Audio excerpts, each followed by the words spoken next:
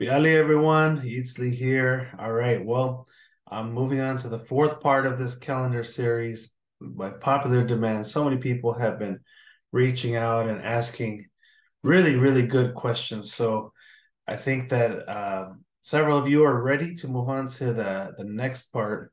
This part is the most important. This is the most important calendar uh, episode because it it talks it explains the leap year and the secondary the secondary calculation, the correlation or um, correction, sorry. But more than anything, I'm going to introduce to you the the calendar from um from a 100% decolonized view.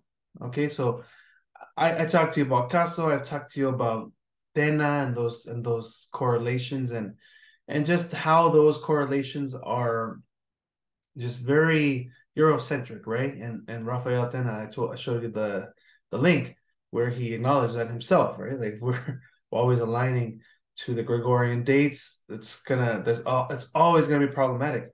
And every single correlation out there, except of course for the Ruben Ochoa, does that, right? Like for example, there's uh, the Arturo Meza. They started the new year when on March 11th or 12th. You know, uh, they started on a Gregorian date, and then then starts on a Gregorian date. Gospel on a Gregorian date.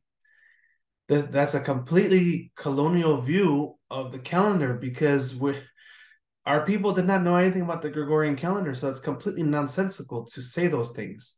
And so one of the things that Ruben Ochoa, the you know, the the discoverer of this this correlation, always says is, you know, we we, we don't want to like when we're making, you know, because me and Kurly Tlapoyawa were, uh, you know, his first students who kind of applied what he taught us, right? And made calendars and uh, these online calendars and the physical calendars and planners and all those things. And so the thing that he really annoyed him was that we always put the Gregorian days. Ah, you shouldn't even put the Gregorian day at all, right? Because it, it just makes it Eurocentric and it makes you kind of reliant on it. And uh, you know, our argument is well, people are not going to know what day it is unless we use that date because that's what we use today, you know. But he's he's definitely a proponent of just completely decolonizing the calendar 100%. And so one of the things that he says that a lot of people do not understand or misinterpret uh, and this is one of the, the most common errors and misconceptions that I see is a lot of people will be like, oh, the new year starts on the spring equinox, or they'll say, oh, I went into the NASA website and they said it's a spring equinox today, right? But the new year does not start until the observable spring equinox in Mexico. Okay. All of those words are completely crucial to that understanding. Once again, the observable spring equinox in Mexico. So what it comes down to is how did our people uh, monitor the spring equinox? How how did they observe it? And why are we using Mexico, right? Well, that was the easiest one to answer because we're, we're talking about the Mexica Azteca calendar that was used in Mexico Tenochtitlan at the time of the Spanish conquest, right? And so where are they located? They're located in Mexico, right? And so that's why we need to use Mexico when we're calibrating our calendar because the, the entire calendar is based in that location. And so that's that's the easy explanation for that. But the the rest of it, the observable spring equinox, that's going to take a little bit more uh, effort. And so what I'm going to do is I'm going to introduce you to a tool that I use. It's called Stellarium. This is a tool that uh, Ruben introduced to me because one of the first questions I had when I when I first mm, when he when I first talked to him about the, the calendar, right, is that okay? You're talking about like what can be observed in 1519 and 1521, right? In Mexico Tenochtitlan. And I told him, well, the, the, the Templo Mayor is not even there anymore. It's, it's in a museum. It was toppled over by the Spaniards. You know, a lot of these uh, the, the entire city was destroyed, right? And there's nothing left in Mexico Tenochtitlan. And he's and I said, so how, how are we even supposed to know how, uh, what are we going to? Build a time machine, and that's when he told me about Stellarium. So let me uh let me show you Stellarium. Okay, so here it is right here. And so I've with this is a really cool it's an astro, astronomy program and you can actually you can actually see at any point any time and any location uh, what the sun what the sky looked like at that time. So it's an extremely valuable tool in our work here because we can literally go back in time and see what our ancestors were looking at and what led them to start their calendar on you know on the day after the observable spring equinox and so we have this is mexico city. So if you're using the stellarium program and uh, i'll put a link in the in the youtube description if you want to look into it. Uh, you want to make sure you set the location. And there's a little little bar right here. You can set the location here. Okay?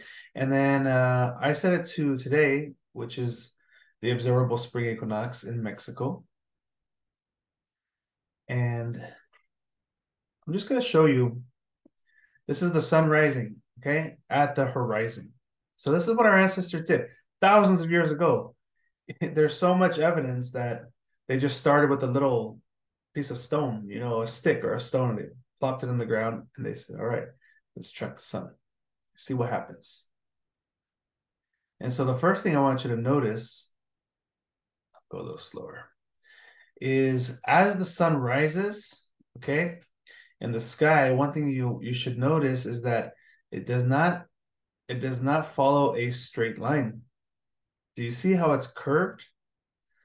Okay, and so that that is going to be something we need to be aware of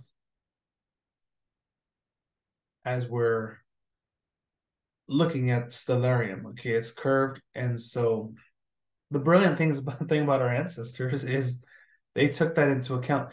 You know, they they would they would build a Teocalli, right? Their astronomical observations, and then they would be like, "No, that's not right," and they would completely tear it down. Like it happened. Moctezuma did it in Mexico Tenochtitlan. He said, "No, that's not accurate enough. Let's tear it down and remake it so that it's accurate.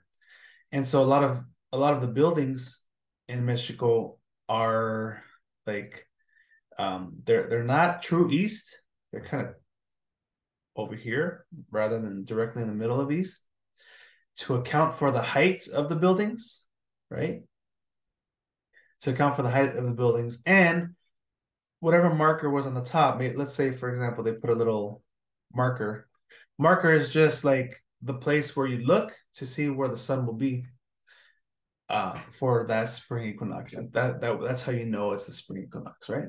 And so they would they would make it precise and they would rebuild these teocalli all the time in order to improve their accuracy. And so the ones that we have still today, they're, you know, it's like hundreds of years of like rebuilding and measuring and until it's right. Oh, look, I happen to make it just right. Until your son, and this is where you notice a lot of the Teocalli, you know, I, I mentioned the Templo Mayor from Mexico, Tenochtitlan, that, that thing has been toppled. It's not even there anymore. So we cannot even go there and see. Although the astronomer, the uh, the, the archaeologist in charge of the Templo Mayor has his name is Leonardo Lujan, and he has um, made calculations, and he said, yeah, the the top, he has determined that the top of the Templo Mayor was exactly aligned to the spring equinox. Okay, and so there's other astronomers kind of trying to rebuild it. Obviously, it's going to be very hard and very imprecise because it's not there anymore.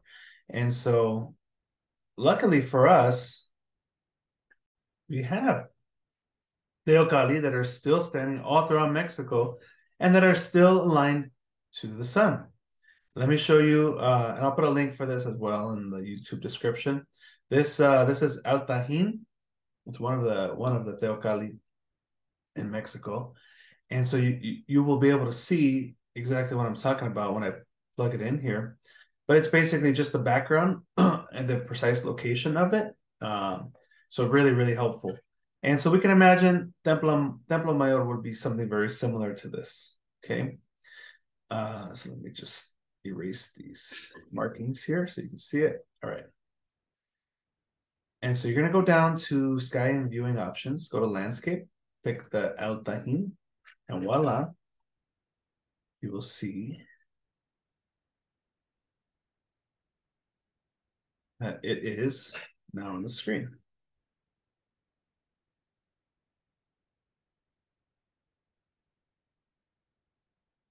And so we have this Teocalli, like I said, just like the Templo Mayor in, in Mexico Tenochtitlan, you've got the sun right in the middle. You see that? And so that's the really beautiful thing about this. It's like, man, they could destroy the Templo Mayor, right? But we still have, and this is only one example of a Teocalli that's in line. There are some others that are just magnificent in the Maya region, uh, all over the place. I'll show you. I'll show you uh, another one in a minute. But I want to show you this because the spring equinox is in the middle, and I want to show you why it's in the middle. As I as I said before in, in the previous lesson, the Tena lesson, you know, the indigenous people could start their year whenever they wanted, right? That's we're not saying we're not saying that all indigenous people started their year on the spring equinox. That's another misconception that people have. We're not saying that. We're saying that the, the Mexica and Mexico Tenochtitlan definitely did. We could prove that with 100% certainty. Other groups, I don't know.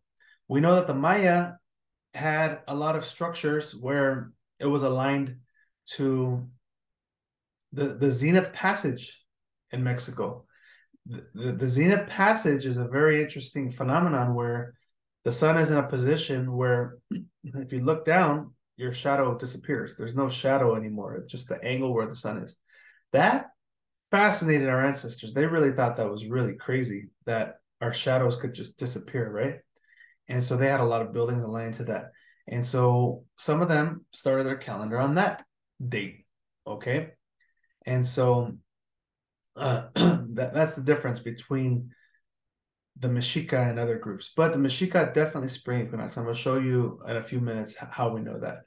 But for now, now that we're here, I'm going to show you something very important that our ancestors discovered thousands of years ago, which must have been in the, the Olmec time, because the Olmecs were the first ones to come up with this system. But what they discovered is that the sun changes position throughout the seasons. Okay.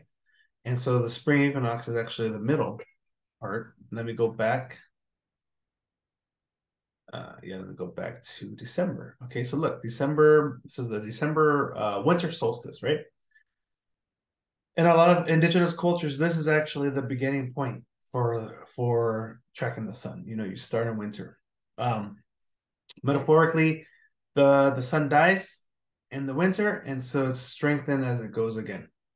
So it's 12. Okay, so you have uh you have winter. The next one is going to be the next season is going to be spring. So it's spring equinox here. Now watch what happens when we go to summer. Do you see do you see how the sun is moving across the sky, right? And so it started off here, but now it's over here. Not only is it over here, let me go back. It's actually, you see how it's like low here and then it's high here? Our ancestors thought that, you know, they invented rubber, first people in the entire world to invent rubber. When the Spaniards came, they, they saw it and they, they were amazed by it. They had never seen anything like it. And our ancestors um, made rubber and it was a is a sacred it was a very sacred substance still is today. One of the many reasons why it's sacred is because they said that the sun they likened the sun to a bouncing rubber ball. You see how it's bouncing? That's what they said the sun was. The sun was a bouncing rubber ball. It's going up and down bouncing up and down And so that's the significance of rubber. I mean, rubber was a very popular offering. I mean, there's rubber balls everywhere, not just to play the ball game, but like literally offerings to the Teteo because it's like a sacred representation of the sun. And then watch what happens as we go to the fall. You see the fall? The fall kind of goes back close to where the spring was. And if you know anything about astronomy, that that that is actually uh, there's a reason for that. As the sun is going around the, as the Earth is going around the sun, you know, it's going to be in a very similar position. So you got the fall, the sun, and then it comes back. And so it's just going back and forth. Okay. But the cool thing about this, the Teocalli, is that you if you wanted to mark all of these, you can actually put markers for all of them, right? Which is what a lot of groups did. And so that's the power of using this. One thing I want you to notice that's going to be very, very important uh, in my then the next part here is that the sun is here. The distance here, okay, from the ground is sizable. See, if this was not here, and I mean, this would be the horizon, the sun would be visible at six Okay, you can't see it here because it hasn't it hasn't reached the top of the Teocalli, but if the Teocalli was not there, you would be able to see it. Now this matters a lot, okay, which I'm, I'm going to show you in a, in a few minutes why, but I want you to remember that. And so here we have a a breakdown of the years 1519 to 1521. Now, I'm going to answer the question now. Like, how do we know that the new year starts one day after the observable equinox in Mexico? As I told you, Alfonso Caso has two correlation dates, okay, that he says are the most reliable. And if you look there's a there's a book i think it's called uh, the book of the days or something by this this author named edward Monroe. and the entire book is just a listing of all of the dates that were documented by native people and by spaniards back in the 15 16 and 1700s and one thing you notice that caso discovered is that the dates in 15, between 1519 and 1521 are very uh, reliable in the sense that everybody who wrote them down, they wrote the same date. As you get past 1521, that synchronicity disappears. You know, there was other events that happened. Everybody would write it down, and the dates did not match. Even the dates before this time did not even match from the two authors that were writing. Okay. And so that's why these Caso dates are so important because we have to anchor these this calendar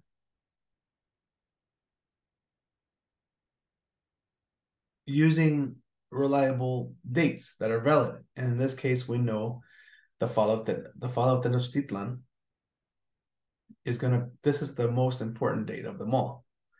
And as Caso shows, every Spaniard and every native person who had a pen, they wrote down that this event happened on one coatl in the Mexica calendar, and they and they wrote down that this corresponded to 8 13 1521, which was August 13 1521. This is the Julian calendar. Okay. And so what Ruben did, which I don't know why nobody else ever thought about that, but he counted backward until he got to the the starting date. And if you don't know what I'm talking about with the starting date, you got to go back to lesson one because I covered that in lesson one. But basically, since the day, since the year is three Calli, three Calli, that means that the, we know that the new year has to be three osomatlia. Okay, And so we know that because it's a three Calli, three Ozomatli. Now you count backwards all the way to three Ozomatli, from one Coatl all the way back to three Ozomatli. And then we correlate it to the Julian calendar. And by the way, this is the only time that we really have to do that, correlated to the Julian, because there's no reason after that.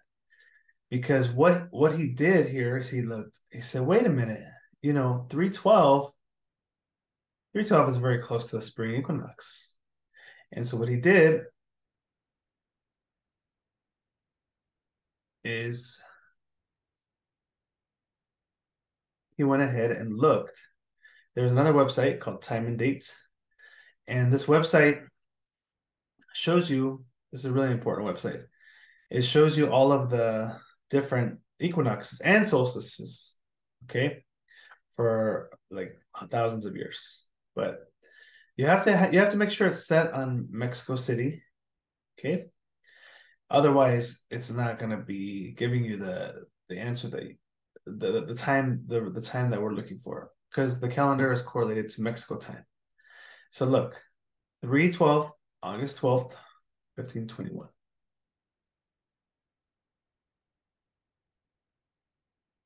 Fifteen twenty one.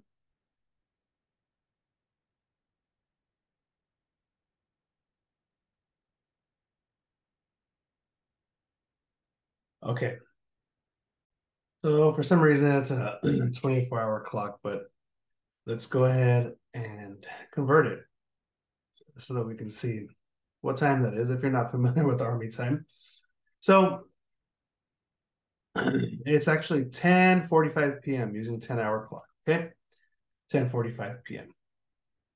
So what will happen if you think back to the Stellarium, right? Program. 10:45 is nighttime. This Teocalli and all of the Teocalis in Mexico are tracking the sun. There is no sun at nighttime. And so a lot of people will say, well, the spring equinox happened at 1045. So that means that since it happened at 1045 at night, that means the new year should be March 11th. It's not the case. The new year happens to be March 12th, remember? And that's because the observable spring equinox was the next day. Okay, so it happened at night, but uh, Mexica did not see it until they woke up in the morning, went to their observatory, and looked.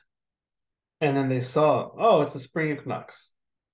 So again, even though it occurred on March 10th, this is a hyper technical definition. Uh, it's a modern definition of the spring equinox, okay? Because I mean, we know this we can we can calculate this now because of NASA and all the tools that we have. Back then, 1521, they couldn't do it. There's no evidence that they could know what that the spring equinox was there because how, how would they know this the sun was on the other side of the world, right? There's no way that they would know. And so we have to think in this decolonial view, right? We have to think like them. Like how, how would they perceive the world? What kind of tools would they have available to them? And so in this case, March 11th would be the observable spring equinox. And therefore, that's why March 12th is going to be the new year. Now, this discovery is extremely profound because because Ruben discovered this, well, we don't need the Gregorian anymore. We don't need the Gregorian calendar.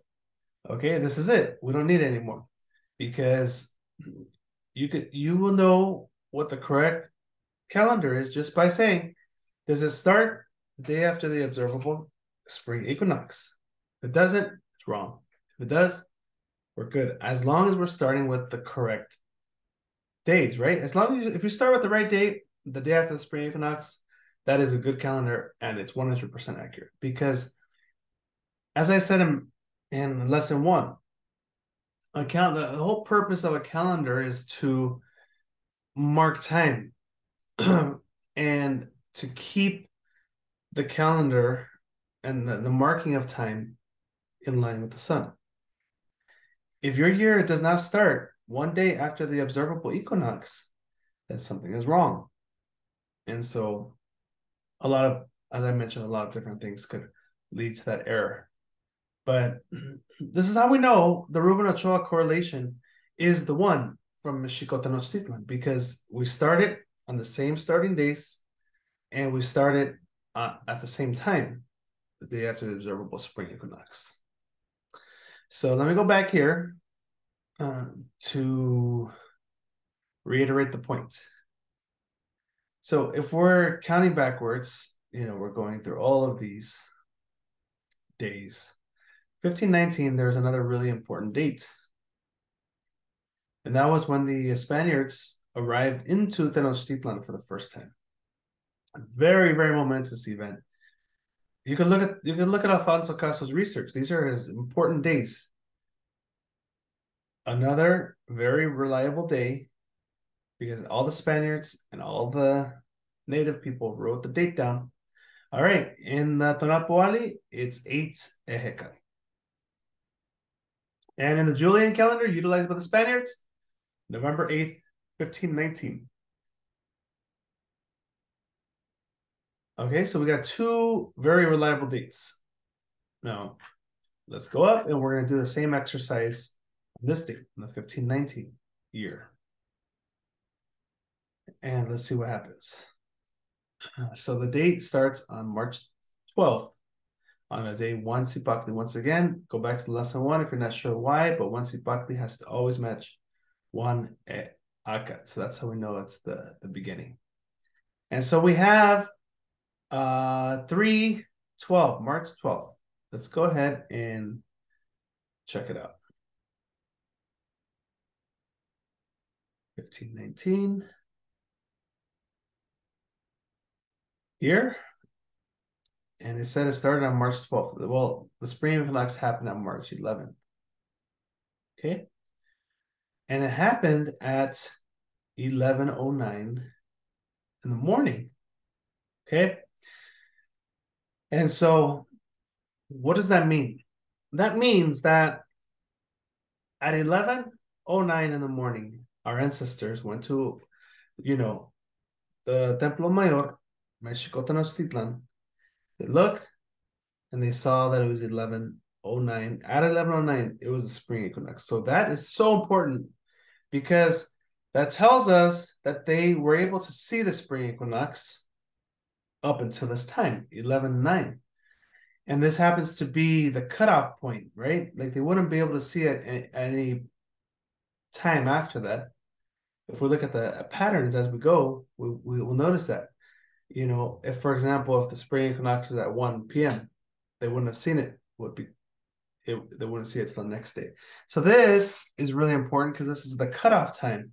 This is the latest possible time that you could have seen the spring equinox. And I'm going to show you why.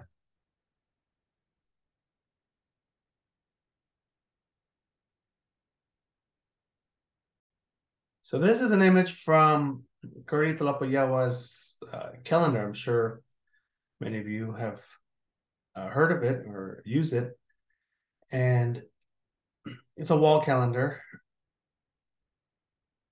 And so something that's so important to understand with that cutoff time, that 11 a.m. cutoff time, right? So the sun is here. One thing I told you already is that there is a distance from the ground to the top of the Templo Mayor. You see that? So we have to account for that. We account for that by saying okay, maybe the sun rose on that day. Uh, let's say at six fifty one or something, right? Something like that. An estimate. Well, it would be here at the horizon, but because of the height of the Templo Mayor, you know, time is going to pass until the sun is here. And so, based on what we just saw, we know that the the sun would be at the top, very top of the temple at 11. What, what was it? 1109, right? 1109. Now, the observer is not standing here. The observer is not standing on the Templo Mayor. The observer, by the way, um, Anthony Aveni and many archaeo uh, astronomers have proven that the on the top of the Templo Mayor. Remember how I said that there were, there were markers, right? I said there were markers. Well, this was the astronomical marker. Yes, there was a temple for Tlaloc, blue one, and there's a temple for Huitzilopochtli, the, the red one. Everything is so tight because Huitzilopochtli is in charge of the dry season, but Tlaloc is in charge of the wet season. Okay, and so you have this situation where the the te- yes, they're the temples for Tlaloc Huitzilopochtli, very important, yes, but they're also the markers, the, the, the markers for the sun. So this is how the, the priest would be able to see it, but you cannot see it standing here. Okay, and so what, and we know this because it was documented in a, a lot of the, the codices, but they would stand here actually, in, inside this little observatory, inside this little observatory. This is the temple of Quetzalcoatl, by the way, and it is uh, in front of the Templo Mayor. And as you can see, it's a good distance away from it, right? And so something important to notice is that the priest is not looking at the, the sun as it's rising, right? He's looking at it here. And so that's why, for example, if if the spring equinox happened at seven o'clock, 7 a.m., right? Well, by the time the sun got there, the priest will be able to see it, right? If it happened at 8 a.m., again, by the time the sun got to the top, they'll, he would be able to see it as well. 9, 10, right? And then 11 becomes the cutoff point because the sun would then be leaving the markers, right? And you would no longer be able to use the markers to tell if there's a spring equinox. So, like I said, if the equinox happened at 1 p.m., the priest would not know because they're the sun is not no longer on the marker. You see what I mean? And so that's why there's that's why that that that that year is so important, that 1519, so we can establish a baseline. And when we follow the calendar, it automatically just follows that pattern. Anything after 12, 1, 2, 3 p.m., 4 p.m., is going to be observed the next day. Okay, and this is the reason why. Priest is here, and he's standing here. He's looking at the sun at an angle, right? He's looking at it like that. He's looking up at the sun. And so that's the explanation for that. This is the cutoff time. Anything after that is going to be too late. And we can see that naturally happen as we as we look at the, the uh, years as they go. So that is the spring equinox. That's how we can tell when the spring equinox is. That's how we can tell uh, what the cutoff is and also when to start our year. Now, if we think about it for a minute, let, us think about this because uh, this year is a is a leap year, right? So, and this is the thing that got a lot of people asking me. They said, "Why is this date duplicated?" right? They said, uh, "Some someone said, oh, I think it's an error." I thought it was an error, and uh, no, it's not an error. It's completely intentional, right? Because what happens is, you if you look at the again utilizing the the marker in Mexico, you look on the twentieth, right? For for this year, you're not going to see the spring equinox and so you will see the spring equinox on the 21st, which which makes sense as to why they were using uh, the spring equinox uh, to determine whether there will be a new year. Because as you learned before in the previous lessons, there sometimes you have to include a leap day, which is what this is, right? Our ancestors, and in that decolonial colonial view, would not have seen it as like a leap day in the same way as a European. They saw it more as like a day that was stretched out, right? Or duplicated. A day that was stretched out or duplicated. That's what they would. So it's just a longer day. Okay. And then uh and then the next day you'd be able to see it. Now we can confirm that by going back to this website. And let's go to this year.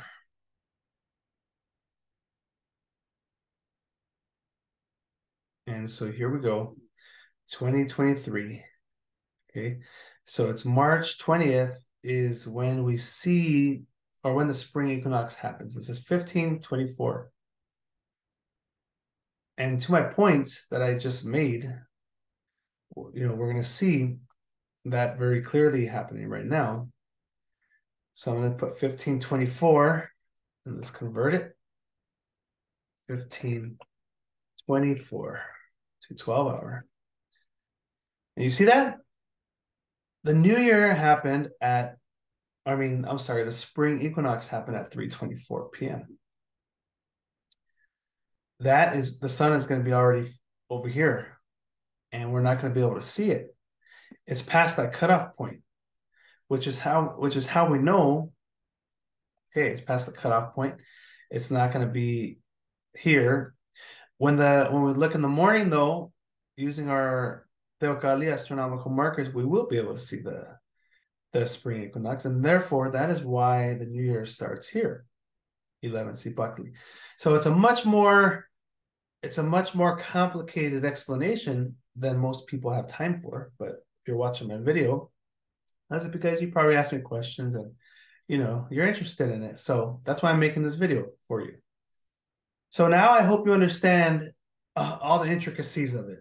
Okay, that cutoff, don't forget that cutoff time is very important. And I'll just go back here to the Stellarium program real quick to really drive home the point. So let's go to uh, today's date. All right. Okay, so it's seven o'clock. Boom, we can see it on the marker by eight o'clock, look look how far the sun is already. It's it's over here. Now keep in keep in mind the Templo Mayor was way bigger than this, right? I, I don't have the exact dimensions or anything, but I'm gonna skip over to three o'clock.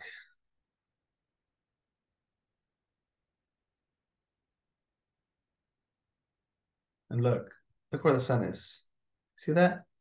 Sun is way too far to be able to see against our astronomical marker. And so that's what I'm talking about. That's why that cutoff point is so important. Where where the sun leaves the, the Great Pyramid. Okay.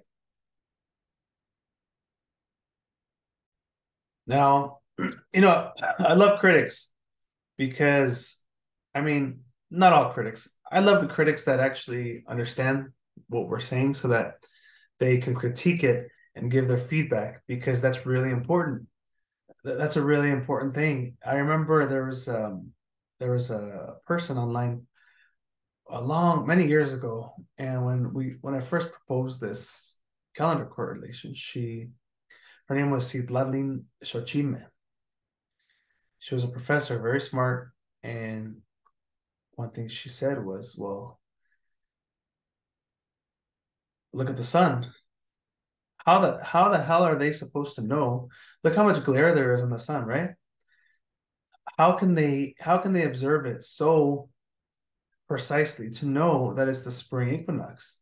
Because there's a very little, there's a very tiny difference between the day before the spring equinox, the spring equinox, and the day after. And she, was like, well, they wouldn't they wouldn't be able to have seen it because of the glare of the sun you can't even stare at the sun, right? Like you stare at the sun, you go blind.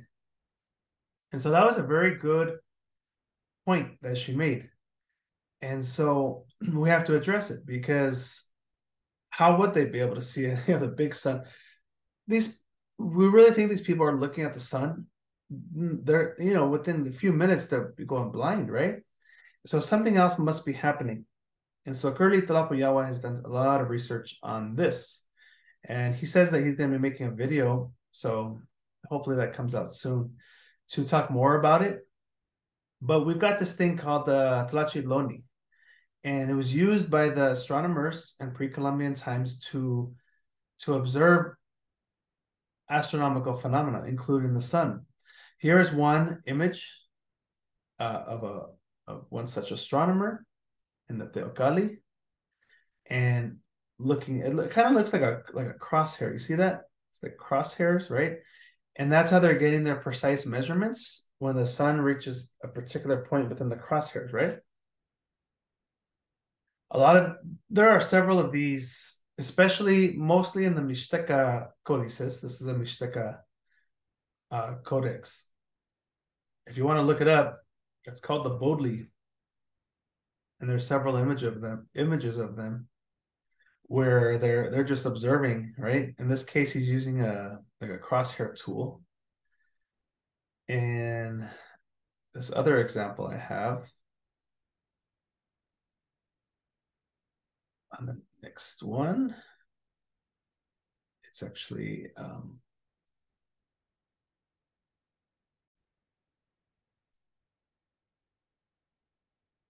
here. No, where is it? Hold on, let me play this real quick. Sorry. Okay, so you've got this. Oh, maybe I took it out. Sorry. Well, th there was another one that looked like this. Okay, so you it's uh again same codex. Now this one, instead of using a, a tool, uh, they were using uh, like a mountain. There's like a mountain, and this is the sun right here. And we know this is really important because we know that a lot of uh, native people, including all the way to the southwest, the Hopi and so many native groups, use just use the actual geography. You know, you didn't they didn't have to make Teocalli to track it.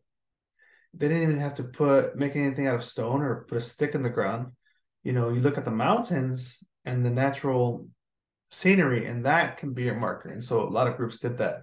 And so this is uh, one such example. Like, okay, we don't have a Teocalli, but we can use the mountains, right, to tell us when it's spring equinox. All that to say, there is sufficient evidence to show that they were utilizing some kind of tool to observe the sun and observe it safely, right? This is um is a, a, very common tool. A lot of the the, the Teo have this tool, and it's kind of like you know you got the outer part of it, and you can imagine maybe it would be used to block out the sun, right? And then you can only see a little bit here. This is uh, from the Codex Borgia. This is really fascinating because this is this is a Itzli, uh, the priest astronomer, observing the sun and this page happens to correspond to the first month of the year at Tlacaxipehualiztli. And look, there he's observing the sun, just like we're saying that they did, right? They obviously had to because we just derived it from looking at the, the, the dates, the Caso dates. So I'm gonna show you a video that Ruben Ochoa made because he's got a hypothesis that they probably used obsidian and obsidian he, he he has tested it out and it protects your eyes from the sun. And not only that but wow it really narrows the sun down so that you can see it very precisely against you know these crosshairs or the templo mayor whatever the whatever the tool is you have to narrow it down. And check this out. Check how just look how how how tiny the sun gets in these videos so here's one. This is obsidian glass. So you can see the sun there. It's very small. Look at this. It's even thicker obsidian glass. Look how small the sun is. Look. Do you see that? so would they be able to see it against their their astronomical markers? Yes, the most definitely. If they're using a tool like that, most definitely you could get a very, very precise reading. Okay. And you'd be able to know where exactly it is in relation to the to the year. Speaking of year, I'm gonna go ahead. So that was the that was just anchoring and knowing why we say the the day after the, the observable spring equinox in Mexico. I'm gonna go ahead and show you now the leap year because I had a somebody a lot of people were asking me, well, why because people have noticed that the leap year started in Acatl, and then it's no longer in Acatl. Like I just showed you my planner. Let me go back to it here. Okay, so we're we're not in a, a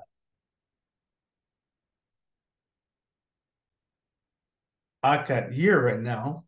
It's actually a Tochtli year. We're in a Tochtli year. So somebody asked me, well, if you, if you applied the leap year to Acatl, why is it why is it why does it move? Why does it move year bearers? Acatl, Tochtli, it goes back and forth. That's a really good question. I'm gonna answer that next because that question actually leads us into again in this decolonized view of the calendar why why we don't even have to have a secondary correction right? Like this Rafael Tena he doesn't have a secondary correction. As, an example of a secondary correction would be like the Gregorian for example. Okay the Julian has these leap years. In a hundred or so years, it accumulates into an error, one day error. What they do to um, to correct that now with the Gregorian is in certain years, they actually skip the leap year. in certain years, they don't have a leap year. And so that prevents the, the error from ever accumulating, right? Now, the really crazy thing about our calendar, the Mexica uh, calendar, Mexica Azteca calendar is that there's never a secondary correction that is needed. Okay. And if you remember from my, my first video that I made, I was talking a lot about the, the natural mathematical patterns that kind of just arise from starting with one Cipactli and counting. That happens again with the leap year. And so we have these two dates. Okay. The the day that the Spaniards entered um, Tenochtitlan, which was in 1519. And then we have the day in which they Tenochtitlan fell, which happened in 1521. Something I noted before in the Caso video is you cannot get that from this date, 1519 to 1521, unless you have a leap year in between. So that means that we either have to have a leap year here or here. Those are our two options.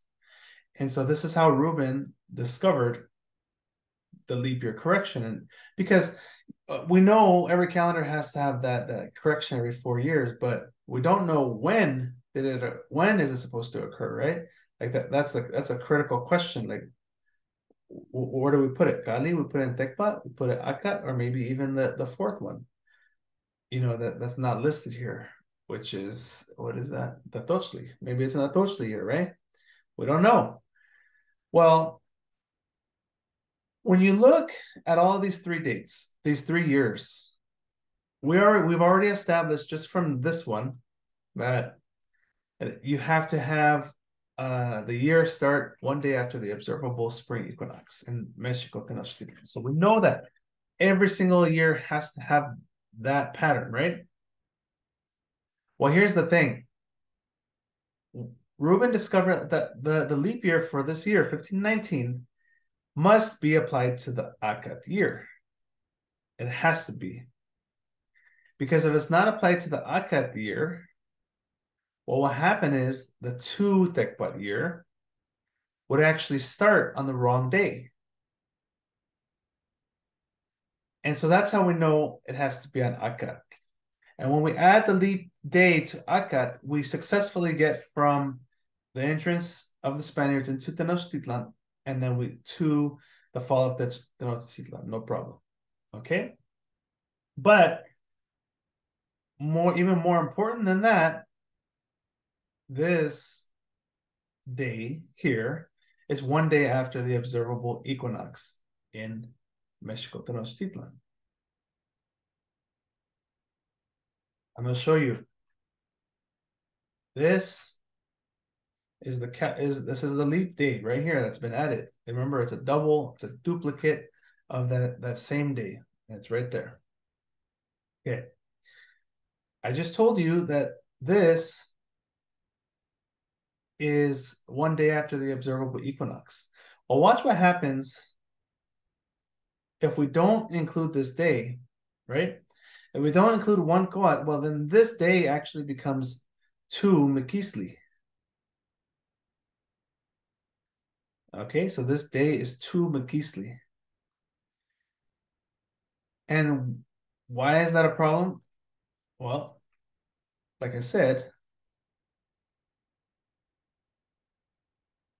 two Miquiztli would be here. The problem with that is if we look on time and date, three uh, March 11th, 1520 is the observable equinox in Mexico Tenochtitlan. It is that day.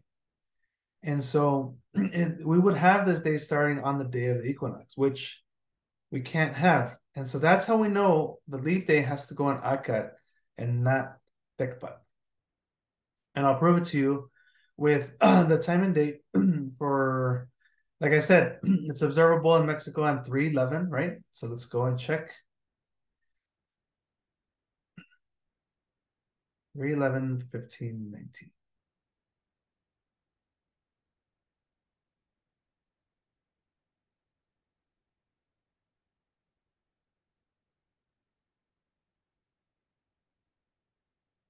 Sorry, I said 1519, but I meant to say 1520.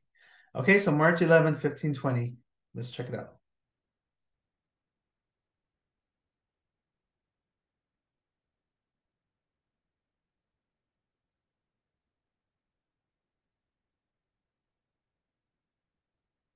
Okay, so this is 17, mm, this is military time, so that means that this is like 12, this is like 5 p.m., 4 or 5 p.m okay, on March 10th for the spring equinox, the actual spring equinox, 4 or 5 p.m.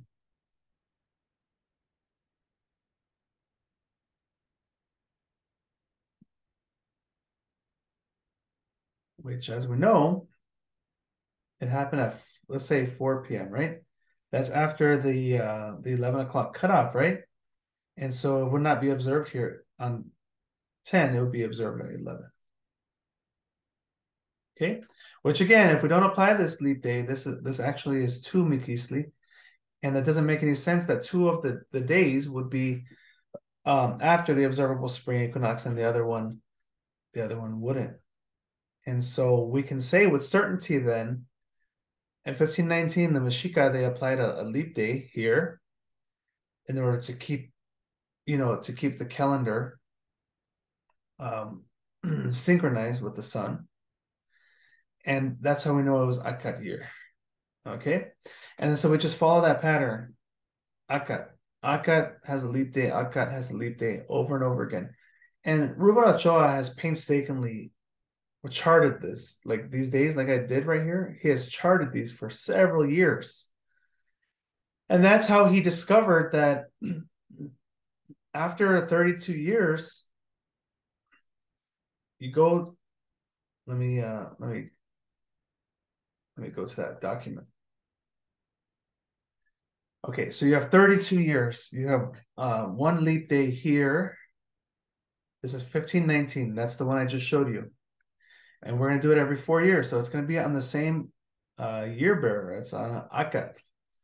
So look, one, two, three, four, five, six, seven, eight. Eight times four is 32, right? So in uh like 30 in 32 years, then the the leap the, the leap day was applied to the Acatl. Now, if you so everything is calibrated.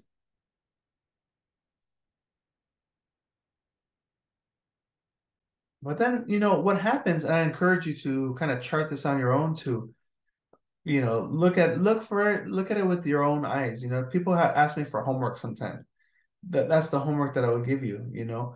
Chart all the days all the way to 1540 uh 50 52 and then what you're going to see utilizing the time and date you're going to see that you cannot apply the the leap day anymore to the Acatl year because what will happen is the subsequent days will no longer be one day after the spring equinox. They will actually fall away. And so what, what's happening then is the leap day, the leap day shifts Okay, after uh, eight cycles, it's going to shift to the next year bearer. Okay, after eight cycles. And it's going to go for eight more. I'll show you. So we got um, Tecpatl. One, two, three, four, five, six, seven, eight. And then it's going to shift to Calli the if if you know if you know the order, you know that it's going in or in the in the correct order. That's the order of the year bearers. So it's kind of shifting from one year bearer to the next. Now, the really important thing that you want to take away from this, I mean, obviously that it explains it explains why the leap year is not always on Acatl, right? It's just this natural mathematical pattern. How or why does it exist? I don't know, but it works every single time. And it, again, we're, we're just following the pattern of, of of the leap days, right? Like if we don't apply them to the to the to the different year bearers, the the years go get wacky and and they don't fall one day after the observable spring equinox. But one thing I want to point out that's really important is in that when you shift during that shift, see that shift, you have a leap day. Instead of every four years, right? It's happening on the fifth year now. So this is why there's no need to have a secondary correction like the like the Gregorian calendar, for example, because instead of every four year four years, we have a leap day, it shifts to five years every 33 years. And so, since that shift is happening, it, the, the calendar actually just corrects itself, actually. and so, it just stays in line completely just on its own. And so that that makes it really cool and really nice that we don't have to put an arbitrary or imaginary correction to it because it just corrects itself naturally. If, of course, we're staying with that concept that the year starts one day after the observable equinox. Okay, so I know that was a lot of information. Check it out. I know you probably have some more questions. I think I covered everything I wanted to cover. I wanted to cover the nature of the spring equinox. How do you observe it? How can we double check what programs can we use to verify our work and then why do the why do the leap days change year bearers okay and so i really hope you enjoyed this video the the new year is tomorrow 322 so i hope you have a, a great new year so that's march 22nd tomorrow and today is the last day of the year, Matlactli Tochtli, 10 Rabbit. And so tomorrow we're going to start Matlactli Ce Acatl. Going back to an Acatl year. So as you saw in the first video of the series, the, the Tonali has to match the numeral and the Cipactli always has to match the the year bearer, Acatl. We always start with one Tlacaxipehualiztli. Somebody asked me, hey, uh, I want to learn more about the months because I, I, I, if you notice, I have not talked about the months, just the um, Tonalpohualli. The reason for that is, and this is the this is the thing that makes it really difficult for people.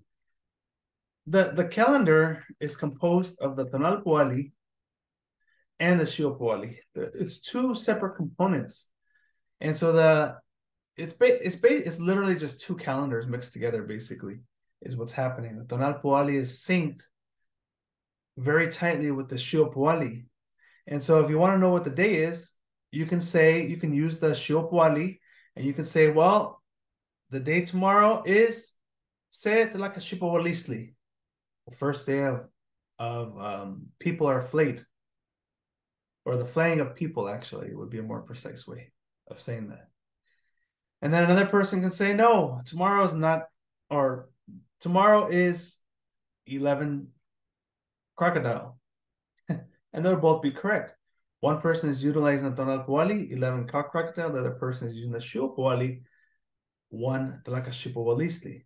And so that's why I covered just the Tonalpohualli first, so that because everything is synced to the Tonalpohualli and everything, for me, I, I think it's the most important, um, the important aspect of the calendar, just because it's connected to you know birth signs and it's just it's just connected to like even if you're going to have a good day or what that they are in charge of that day.